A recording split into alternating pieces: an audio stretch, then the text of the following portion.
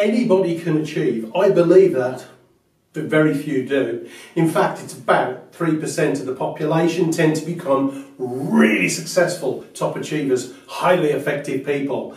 Bad news 3%. Here's the good news anyone can, very few do. Be a doer. People say, David, you're a positive thinker. I am not a positive thinker. You ask my wife, she'll say I'm a miserable, grumpy, middle aged man. It's true, I'm a grumpy, middle aged man. However, I'm a positive doer. I do stuff, get stuff done. What's your reputation? You see, if anybody can, but very few do, why don't you become a three percenter? Be more rhino. Let me tell you about a friend of mine that I interviewed for my research. His name is Nigel Vardy. He's an engineer for work, but in his free time, he just happens to be a world record holding mountaineer and explorer. He actually fell off Mount McKinley. I say that. He didn't fall off. He got caught in a crevasse in a storm. He ended up getting severe frostbite, losing his nose, his cheek, his chin, all most of his fingers and nearly all of his toes.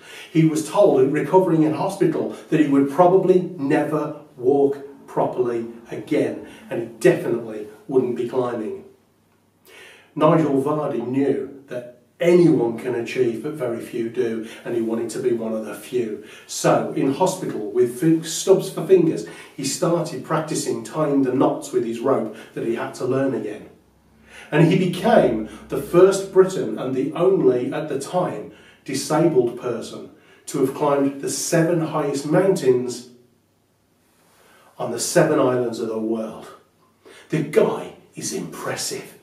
His attitude was all around keep making decisions. Do you keep making decisions? Do you make decisions or do you just go, hmm? Do you keep making decisions or do you just go, hmm, I'll try? Nigel Vardy kept making decisions. Now let me tell you about Cameleza. Cameleza Nuttall was from Trinidad and Tobago. Her and her mother used to put food on the table by going to the local rubbish tip and picking out plastic, glass and tin and having it recycled. When eventually she came to the UK, she got involved in business and property management. She is now incredibly wealthy, incredibly successful, but her reason to do it is to help other people do the same. She is of service to others. So from rubbish tip to multimillionaire.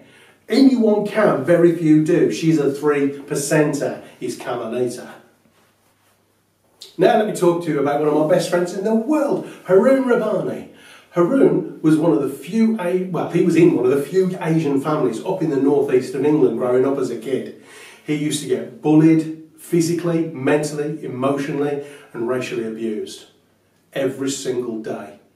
He was small, he was skinny, and he kept getting beaten up. His dad was a Bruce Lee fan, but his dad wouldn't let Haroon have life outside of school and working in the family's takeaway.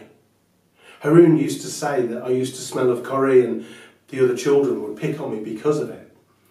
Until I said to my dad, Dad, can I learn Kung Fu like Bruce Lee? Sure enough, he packed him off to karate lessons. Haroon became British junior kickboxing champion. He then went on to be a absolute kick-ass salesperson for a medical devices company, number one in Europe. He then and now is a professional speaker and an internet marketeer. He took massive action.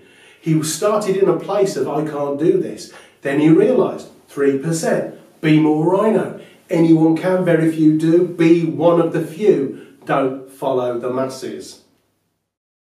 Thanks for watching. Please subscribe and hit the notification bell for more videos. Then click the TV to watch the next video. Oh, and don't forget to visit our website at davidhyner.com to claim your free audiobook. Until the next time, go Rhino. Avinit.